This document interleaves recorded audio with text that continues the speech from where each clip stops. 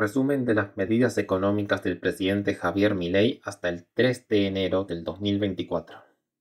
El punto de partida es déficit fiscal del 5% del PBI, déficit cuasi fiscal del 10% del PPI, brecha dólar oficial dólar libre 160%, inflación 200%, inflación anual, eso es, salario promedio en dólares 300, pobreza 50%. La fase 1 del Plan Milley es una fase de control de daños más estabilización en 2024-2025. Según que también se haga, si las provincias acompañan o no, y según la suerte del clima para el sector más pujante de la economía, el campo, así como el por descubrir en qué magnitud será positivo el efecto de la gran desregulación que se llevará a cabo, el plan además podría ser expansivo, pero es mejor no tener altas expectativas de esto último. Además, en los próximos años Argentina tendría que empezar a pagar deudas enormes tanto al FMI, Fondo Monetario Internacional, como a fondos privados, que limitarían la necesaria bajada de impuestos, salvo que se confíe en el efecto curva de Laffer, pero este efecto tarda en manifestarse al máximo tras la bajada de impuestos. Los objetivos principales serían evitar la hiperinflación de cuatro dígitos o más y bajarla a un dígito dentro de dos años, neutralizar el desequilibrio fiscal y desregular todo lo que se pueda, Medidas macroeconómicas. Milei busca un ajuste fiscal de 5 puntos del PBI, 3 puntos de reducción del gasto, 2 de aumento de impuestos. Los ministerios se reducen de 18 a 9, las secretarías de 106 a 54 y las subsecretarías de 182 a 140. Reducción del 50% de cargos jerárquicos de la función estatal y 34% de los cargos políticos. No se renuevan los contratos laborales del Estado que tengan menos de un año de vigencia. Se va a exigir el 100% de presencialidad en la Administración Pública Nacional. Además, se inició la revisión de los contratos estatales, de los contratos con universidades y de la planta laboral del Estado, así como no se renovarán los contratos laborales del Estado que tengan menos de un año de vigencia. Se reducen los choferes y flota de vehículos oficiales, con venta de dos aviones de IPF que se forzará mediante la posición dominante del Estado en el directorio, y se quita el seguro a los cuadros de la Quinta de Olivos, el hogar presidencial. Se congela el dinero que iba a organizaciones sociales para eliminar esa intermediación y que el dinero llegue directamente y sin desvíos a los que lo necesitan. Y además se incrementa el dinero de las asignaciones que ya van directamente a sus beneficiarios. Suspensión de pauta publicitaria por un año.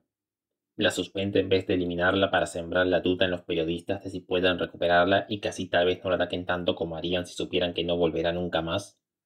Suspensión de la obra pública, o sea, estatal, de las obras ya aprobadas pero no iniciadas. Gasto de 1,8 del PBI pasa a 0,7, o sea, se reducen 1,1. Reducción de las transferencias discrecionales del Poder Ejecutivo a las provincias, el 0,8 pasa al 0,5. Reducción de subsidios a energía y transporte, de 2 pasa a 0,7 puntos. Estos subsidios están concentrados en el área metropolitana de Buenos Aires, donde, o oh casualidad, está la mayor concentración de gente y donde ha habido históricamente una alta concentración de voto peronista en la parte provincial. Pero además muchos de los que viven allí viajan todos los días a trabajar a la ciudad en tren, subte, colectivo combinaciones de estos. Por otro lado, Milley hizo campaña señalando que los aumentos tarifarios iniciales por la quita de subsidios serían pequeños porque renegociaría los contratos con esas empresas para darles otras facilidades económicas, como garantías para tomar más deuda para invertir y porque reduciría los impuestos, que son una parte considerable de las tarifas. En una entrevista posterior a estos anuncios iniciales, el ministro Caputo dijo que los subsidios a la energía empezarán su recorte para febrero o marzo tras la optimización económico-financiera de los contratos y se subsidiará a la demanda con una cantidad de kilowatts gratuitos. La quita total será a lo largo de tres años. Hay un 2,7 de ahorro en total en los gastos más importantes y tal vez 0,3 más de ahorro con los cortes burocráticos. El impuesto país, que es a las importaciones, pasa del 7,5 al 17%. Hay una subida de impuestos a las exportaciones para todas las exportaciones al 15%, salvo los de soja que pagarán 30%. Nótese que el ministro Caputo agregó al decir esto que así se deja de discriminar al sector agropecuario al hacer que todos paguen lo mismo, al igual que implícitamente ocurre al dejar de pagar los subsidios al AMBA, Área Metropolitana de Buenos Aires, es decir, trata de minorar el impacto impositivo señalando una igualdad de trato impositivo mayor. Sin embargo, días después se informó que casi 20 economías regionales serán excluidas de esta suba de retenciones. mientras que para el sector vitivinícola pasarán del 0% actual al 8%, y las de subproductos de soja aumentarán del 31 al 33% con el objetivo de compensar el costo fiscal de la medida. Anunciamos que a la fecha no hay noticias de que Milei se haya cortado un brazo como prometió que en campaña antes de subir un impuesto, y además pretende volver a cobrar un impuesto a las ganancias a un sector de los trabajadores que él mismo había votado por quitar hace unos meses cuando era diputado. El tipo de cambio oficial pasó de 400 a 800 pesos. El dólar anárquico se mantuvo rondando los 1000 pesos. El tipo de cambio a 400 implicaba un fuerte subsidio a los importadores que consiguieran sus dólares por vías legales, básicamente aquellos a los que el Estado señalaba específicamente, ya que conseguían el dólar a menos de la mitad de su valor real. Al mismo tiempo, esto fungía como otro impuesto o una subida de impuestos a los exportadores porque cobraban por cada dólar que ganaran exportando 400 pesos, menos de la mitad de su valor libre. Entonces, esta devaluación del tipo de cambio legal implica una quita de subsidios y una quita de impuestos grandes. Seguramente siendo mayor la quita de impuestos porque el dólar oficial para importadores se vendía poco, aunque también hay que comparar con que la liquidación de los exportadores se hacía un 50% al tipo de cambio oficial y el otro 50% a un tipo de cambio llamado contado con liquidación. Sí, Argentina era este infierno regulatorio y peor aún, y aún sigue habiendo mucha regulación. Con lo cual recibirían 690 pesos por cada dólar, menos el impuesto llamado retenciones a las exportaciones, variables pero aproximadamente 5%, con lo cual los exportadores terminarían cobrando 650 pesos por cada dólar, Ahora, los exportadores pasarán a cobrar 860 pesos por dólar, menos lo quitable con la ya mencionada suba de impuesto de las retenciones al 15%. Habrían terminado recibiendo 760 pesos. Pero además, esa suba del impuesto país hace que quien compre los dólares al tipo de cambio oficial pagará un 17% más, con lo cual pagarían 936 pesos por dólar. Con esto, el dólar oficial para importadores se acerca aún más al dólar anárquico, el efecto conjunto de esto es incrementar las exportaciones y disminuir las importaciones, aumentando así la entrada de dólares en el país y aumentarán las reservas en dólares del Banco Central, facilitando el refinanciamiento de los pasivos del Banco Central o su liquidación. También tendrá el efecto de que aquellos que conseguían dólares subsidiados ahora trasladarán el aumento de su costo a los precios de sus productos, resultando en un aumento de precios bastante generalizado y cuando no todos sean convalidados por el público, habrá quiebras de empresas y o reconversión de empresas o bajas de salarios. También hay que tomar en cuenta para el ajuste la inflación. Mediante no actualizar las partidas de gasto público al ritmo de la inflación, esto disminuiría los gastos reales del Estado, ejerciendo otro ajuste. En ese sentido, y también para sanear al Banco Central y avanzar en su eliminación, el Banco Central dejará de ofertar LELIX, letras de liquidez, deuda a 28 días, un mes, al sistema bancario argentino.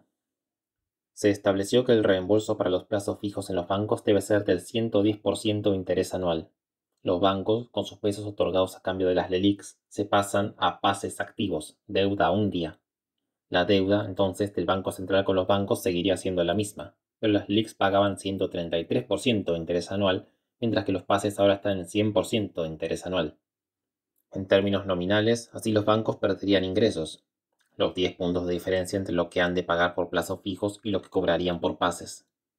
A su vez, estos números de pases y plazos fijos son inferiores, y bastante, a la inflación anual, por lo que se licuarían los que se queden con ellos.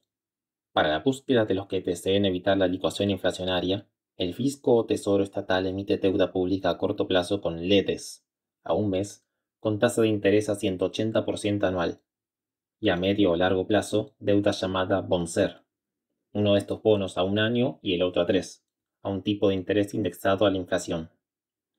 En resumen, así se cambia la deuda de una parte del Estado llamada Banco Central por deuda de otra parte del Estado llamado Fisco o Tesoro. Esto aumentará la deuda estatal total por estos bonos ajustados por la inflación, aunque deuda que se paga a más largo plazo, y no así por las LEDES, ya que probablemente también estén por debajo de la inflación de este año. En consecuencia, el mensaje sería para todos los ahorradores. Para estar a salvo de la inflación, financian al gobierno por uno o tres años con estos bonos del Tesoro por ese tiempo. De otro modo, serán licuados sus ahorros inflacionariamente.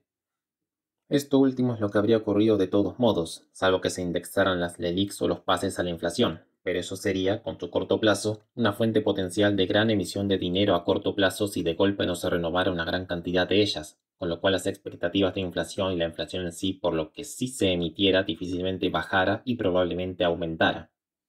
Además, los ahorradores ya estaban financiando al Tesoro, solo que más indirectamente porque estaba el Banco Central en el medio, ya que los bancos eran los únicos que podían obtener LELIX y pases.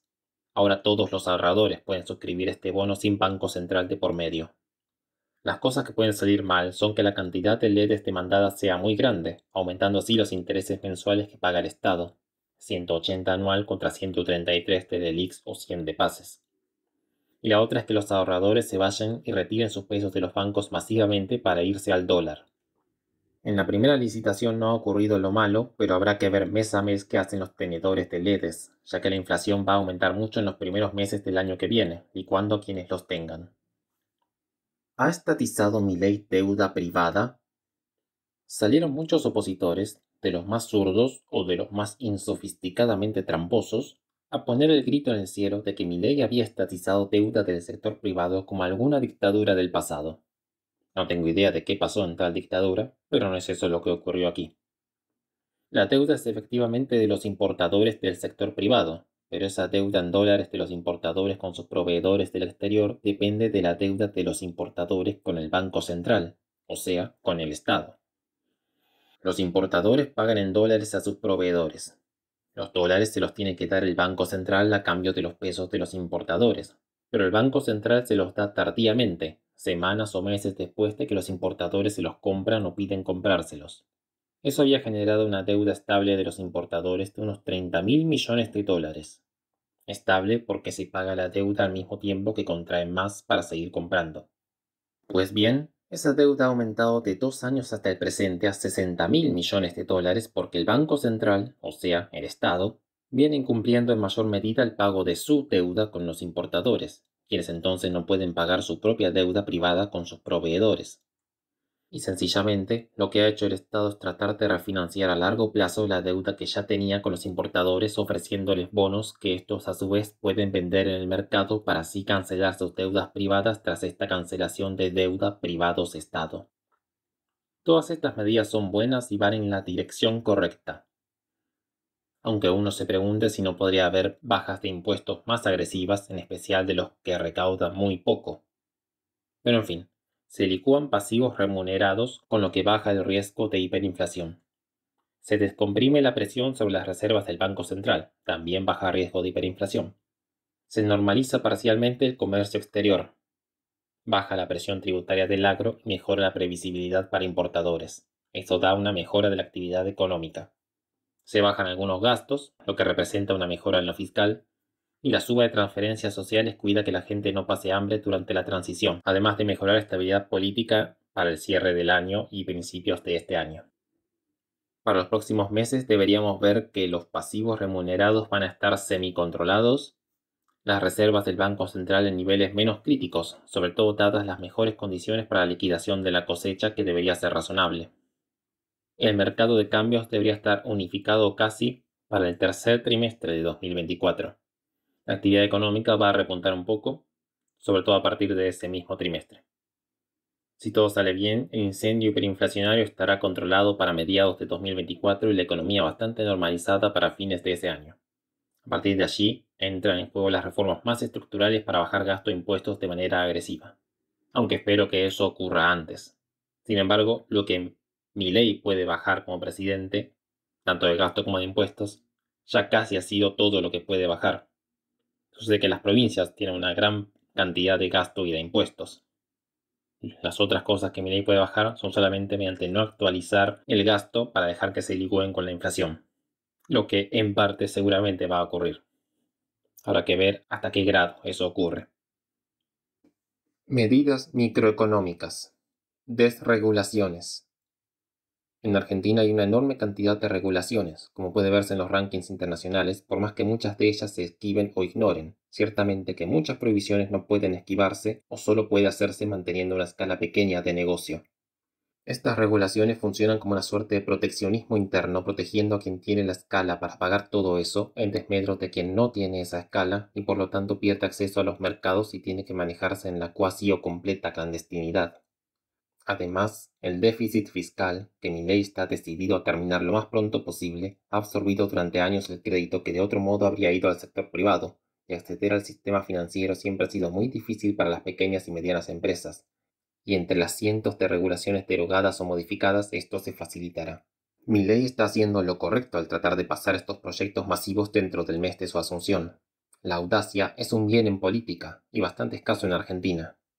En mi opinión, la audacia fue el único rasgo verdaderamente saliente de la presidenta Cristina Fernández de Kirchner para haber sido una figura prominente en la política durante tantos años, y Milei está demostrando que ser presidente pudo cambiarle las formas verbales un poco, pero no su audacia.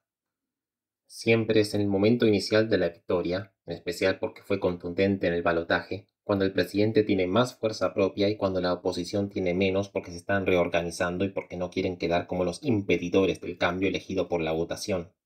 Por lo menos hasta que los impactos inicialmente negativos de las medidas macroeconómicas de Milley, así como el incremento de la inflación gracias a la emisión monetaria del gobierno anterior, no la sienta la población todavía. Contabilizadas las leyes que estos tres instrumentos, decreto de necesidad de urgencia, la ley de bases y el próximo proyecto de derogación de leyes tocan, no se alcanza a cubrir el 40% de los cambios identificados en el proyecto de revisión de leyes de Federico Sturzenegger. Comencemos por la gran desregulación por DNU. Principales 30 medidas anunciadas por el presidente en cadena nacional.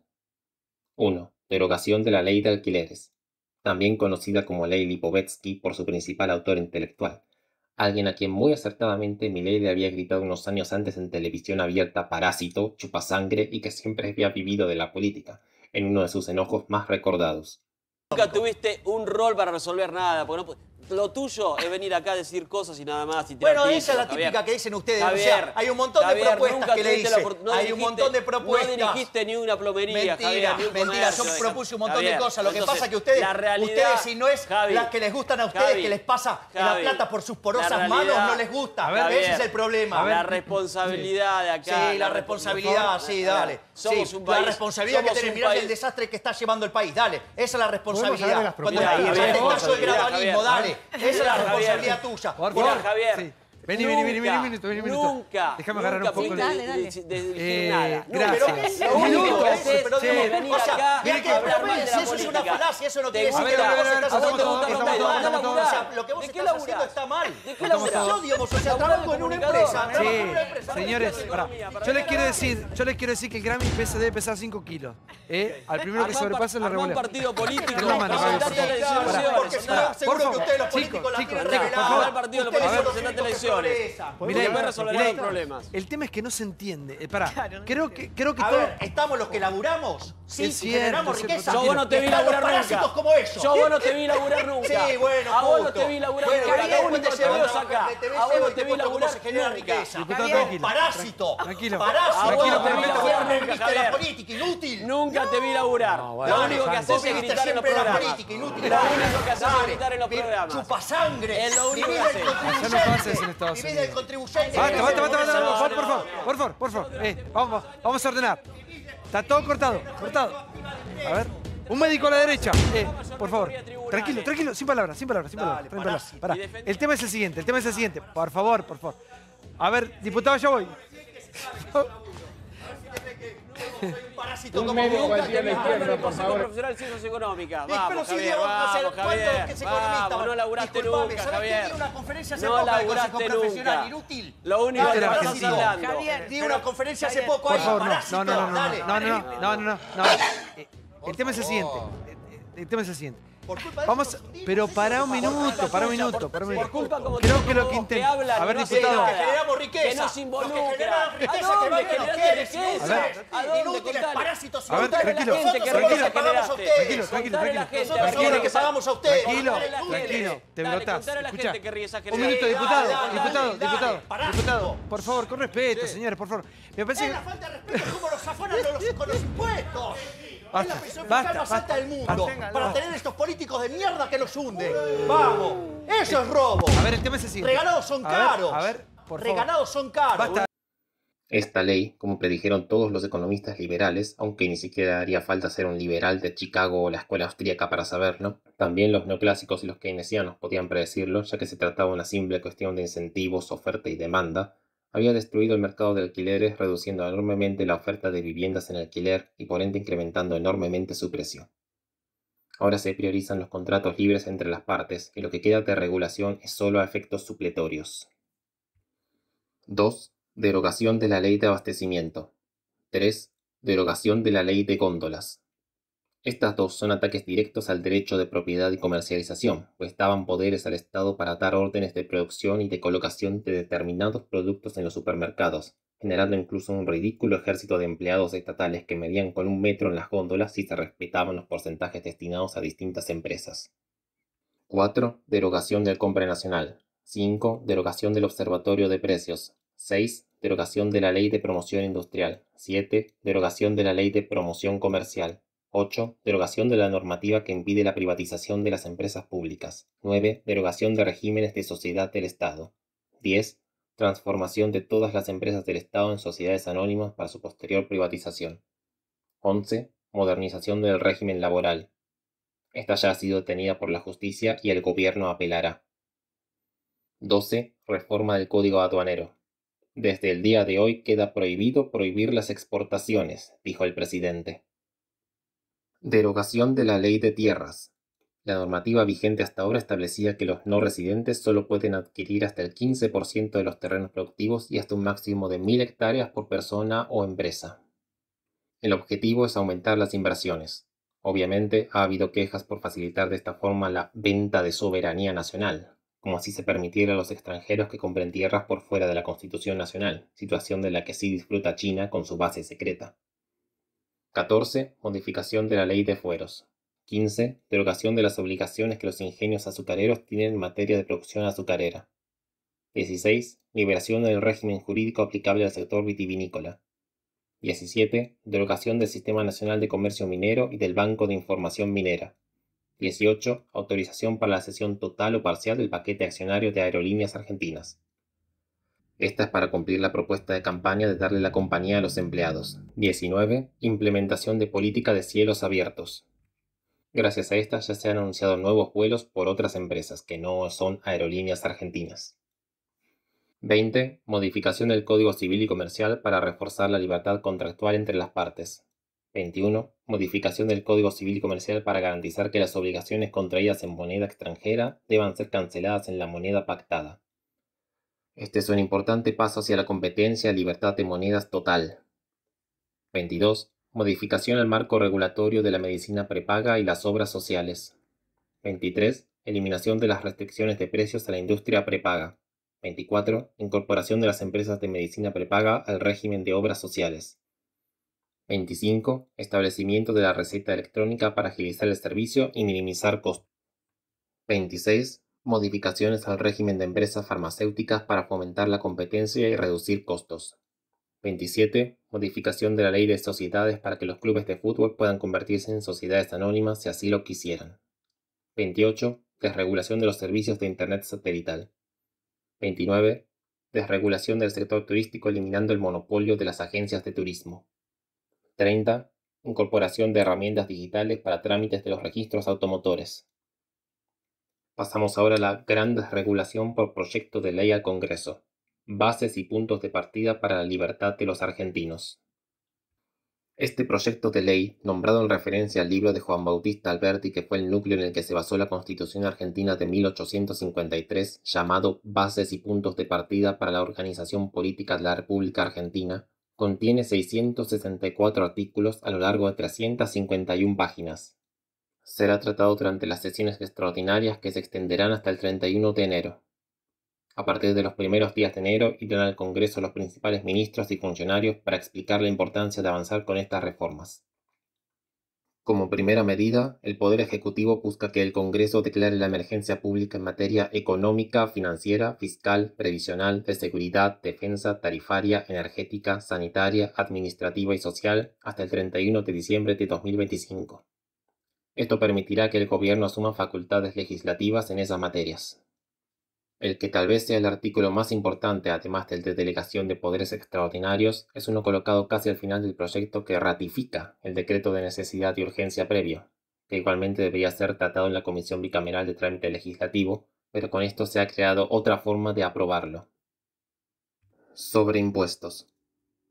En el impuesto sobre bienes personales se suprime la franja máxima, donde aquellos dentro de ella pagaban el 1,75% y ahora pasan al 1,5% y el proyecto prevé la eliminación de las franjas hasta llegar a la menor en el 2027, del 0,5% para quienes superen una cierta línea de valor patrimonial. Sin embargo, en 2024, o sea, a corto plazo, por la reconfiguración de las franjas o escalas, habrá argentinos que pasarán a pagar más impuestos y será a medio o largo plazo que todos pagarán lo mismo o menos por este impuesto. Y también hay un truco para que el Estado incremente sus ingresos para este año, que si las cosas salen bien será el peor del gobierno de Milley y por tanto es el que más necesita de dinero para resistir hasta que la economía se haya estabilizado y pueda crecer. Y es que está la posibilidad de pagos anticipados para los cuatro años de este impuesto, calculado sobre el patrimonio de 2023 e incluso con descuento. Por el artículo 199 se elimina el impuesto a transferencia de inmuebles de personas físicas, que era del 1,5%. El artículo 64 establece que no se pagará ningún impuesto por ingresar artículos al regresar de un viaje siempre que los mismos sean para uso personal y su importación no tenga fines comerciales, sin importar su precio. La propuesta que analizará el Congreso de esta forma propone eliminar el sistema actual en el que existe una franquicia de 500 dólares para ingresar productos y por encima de ese monto se debe pagar un tributo único y unificado del 50% de su valor en aduana, según reza la norma que el proyecto busca derogar. Si entra en vigencia el proyecto, no se pagará impuesto alguno. Además, el artículo 66 impuso una simplificación para el viajero que regresa a la Argentina, Elimina el trámite de llenar un formulario en el que se declaran los artículos ingresados y su presentación ante los funcionarios de la aduana. Para el ingreso de productos mediante el régimen de equipaje no será necesario completar ningún formulario. En caso de que la cantidad de la mercadería a importar haga presumir fines comerciales, la Dirección General de Aduanas seguirá los procedimientos contemplados en la normativa vigente, establece la iniciativa en otro de sus artículos. También está la ya mencionada subida de impuestos aparte de las exportaciones y eliminación para otras, relacionado además con el impuesto de hecho que era el dólar oficial más bajo, y está también una subida de impuestos a los cigarrillos que estaba en 70% y pasa al 73%. Una astuta medida porque esta de los cigarrillos es una por la que no habrá protestas masivas debido a las actuales visiones sociales sobre fumar. Dos buenas medidas del proyecto son la discriminación que habrá en las facturas de venta por el impuesto al valor agregado, es decir, se distinguirá entre el precio sin aplicar el impuesto y el precio aplicando el impuesto. Y en la misma línea de transparencia impositiva, se prohíbe el uso de la palabra gratuito para las cosas que son de libre acceso para las cosas pagadas por un Estado de cualquier nivel. Además, va con la ley Omnibus un régimen de blanqueo de activos que tendrá dos vías para que implique un costo cero para quienes adhieran. Por un lado, será para todos aquellos que declaren menos de 100 mil dólares, pero encima de ese monto también aplicará para quienes depositen en la cuenta bancaria especial y no retiren esos fondos hasta el 2026, que podrán ser invertidos exclusivamente en los instrumentos financieros que indique la reglamentación. De otro modo, el costo será de entre 5 y 15% del total, según en cuál de las tres etapas del régimen se adhiera el impuestado. Y también hay un programa de incentivo al blanqueo de empleados, en el artículo 214 de la iniciativa se plantea que los empleadores podrán regularizar las relaciones laborales vigentes del sector privado iniciadas con anterioridad a la fecha de promulgación de la ley. La regularización podrá comprender relaciones laborales no registradas o relaciones laborales deficientemente registradas. El texto determina que será el Poder Ejecutivo el encargado de reglamentar el programa, pero especifica que se anulará la ley penal al respecto y se condonarán las infracciones, multas y sanciones de cualquier naturaleza. La reglamentación determinará los porcentajes de condonación que habrán de aplicarse, los que en ningún caso serán inferiores al 70% de las sumas adeudadas y habrá beneficios especiales para pequeñas y medianas empresas. Los empleados incluidos en la regularización tendrán derecho a computar hasta 60 meses de servicios con aportes al sistema de jubilación, o la menor cantidad de meses por la que se los regularice, calculado sobre un monto mensual equivalente al salario mínimo vital y móvil vigente al momento de la regularización. De esta manera, los empleados podrán cumplir con los años de servicios requeridos para la obtención de la prestación básica universal y para el beneficio de prestación por desempleo previsto en el artículo. Esta regularización de las relaciones laborales deberá efectivizarse dentro de los 90 días corridos. El gobierno también busca eliminar la fórmula vigente para la actualización de las jubilaciones y pensiones, asumiendo la potestad de realizar aumentos periódicos atendiendo prioritariamente a los beneficiarios de más bajos ingresos. No se detalla cada cuánto serán los aumentos ni qué indicadores se tomarán como referencia, pero con ese aviso se avisora una probable licuación para los jubilados de mayores ingresos. El artículo 26 da más libertad de precios a las aseguradoras, que como todo libertario habría de saber, son empresas esenciales para el funcionamiento de la sociedad sin Estado. Y también con él, por supuesto. De hecho, Javier Milei muchas veces ha hablado de que el Estado cumple las funciones de un seguro de muy mala calidad, además de ser un impuesto por la fuerza. Artículo 60. Se deroga la ley de precio uniforme de los libros. Según la normativa vigente, los editores, importadores o representantes de libros fijan un precio uniforme o único de venta al público o al consumidor final de los libros que edite o importe. Es decir, los libros tienen el mismo precio en cualquier librería física. Lo mismo sucede con las ediciones digitales. Lo mismo sucede con las ediciones digitales. Esta ley, que se inspira en la ley Lang, promulgada en 1981 en Francia, busca proteger a las librerías frente a grandes superficies como las cadenas de librerías y los supermercados. Si el supermercado toma libros que se venden muchísimo y los pone muy baratos porque maneja grandes volúmenes o porque eso le sirve como oferta, entonces las librerías venderán mucho menos. Pero es en las librerías donde se consiguen muchos títulos que no son bestsellers y que pasan años en los estantes. Entonces, para sostener esos negocios que se dedican exclusivamente o principalmente a los libros, se dictó una ley que impide las rebajas, porque si cierran, ¿quién venderá los libros que no tienen tantos lectores? Los defensores de esta ley dicen que así se favorece la bibliodiversidad. Quizá tengan razón los defensores de esta ley sobre que protege la bibliodiversidad de los libros de papel, quizá no. Lo que es seguro es que el método que quieren utilizar para esto es el de la violencia. El de la violencia del estado de haz lo que te digo o te multo o aprisiono. Tal cosa es antiliberal porque ataca la libertad de unos empresarios dándole un privilegio legal a otros.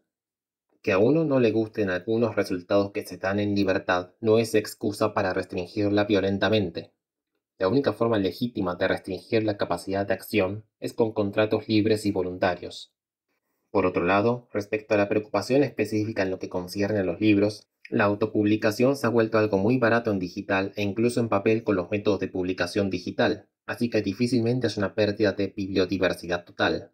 Y si acaso esta es de cosas que nadie aprecia ni quiere leer, pues estaría bien que así sea, por mucho que a una autopercibida élite intelectual literaria que creó la diferencia en su jerga entre la literatura comercial y la literatura literaria le parezca que lo valioso, lo literario, no se vende o queda opacado por la literatura a la que han llamado con cierto desdén comercial y a la que dotan como su principal propósito el servir con sus ventas la financiación de la alta literatura. La Comisión Nacional de Bibliotecas Populares, CONAVIP, también está incluida en la ley Omnibus. La CONAVIP cuenta con gran relevancia en el interior del país y es uno de los actores más importantes en la Feria Internacional del Libro de Buenos Aires porque los bibliotecarios que integran las bibliotecas populares viajan y compran con descuento en la feria libros para los lectores de sus comunidades. La feria abre un horario especial para estos libreros que traen en anotadores los pedidos de sus comunidades.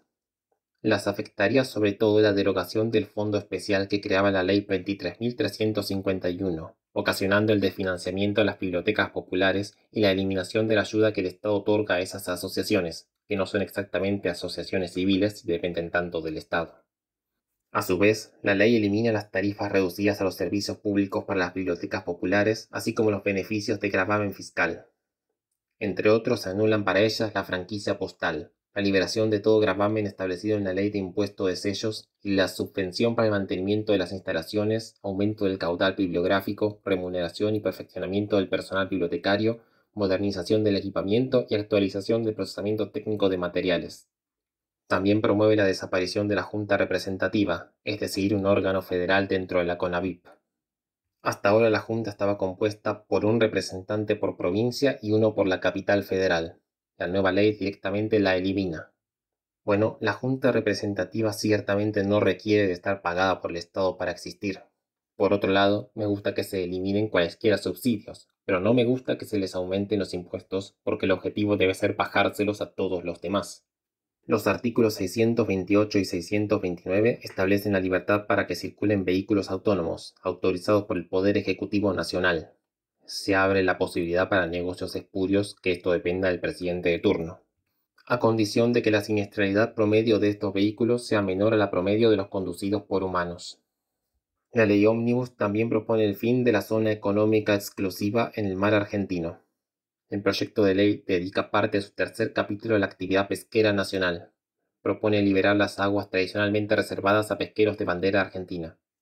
Este es un cambio importante, pero no me queda claro en qué consiste el resultado final, aunque los pesqueros argentinos están pidiendo, si no la derogación, sí cambios a esta parte del proyecto y es probable que haya algunos, así que habrá que esperar a ver qué sale.